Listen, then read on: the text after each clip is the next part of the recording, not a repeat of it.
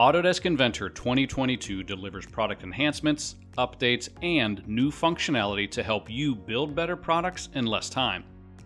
The Inventor experience relies on feedback gathered from our users via the beta program, Inventor Ideas, and during events throughout the year. Customer driven improvements can be seen in virtually every aspect of Inventor, from the dark theme user interface to parts, assemblies, and drawings. Inventor 2022 provides the performance and functionality you expect from a professional grade engineering and design tool. You'll see performance improvements from simply opening and closing files, in place editing, all the way through rendering views. Functional improvements to property panels and the addition of new tool palettes provide a more streamlined workflow across the entire user interface.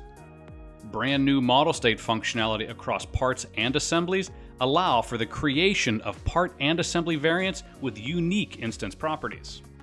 You can also simplify your designs, show manufacturing processes, and more without creating additional files.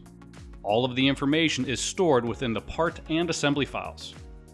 Autodesk Inventor continues to provide a more connected experience when working with other tools. You can now more easily connect Inventor with Autodesk Revit. You now have the ability to save a native Revit project file from Inventor. You can also send Inventor files directly to Fusion 360 to access additional workflows. These connections seamlessly extend Inventor for improved coordination and collaboration. With enhancements and new product features, Autodesk Inventor 2022 helps you collaborate more effectively and be more productive while maintaining the flexibility you need to help you build better products in less time.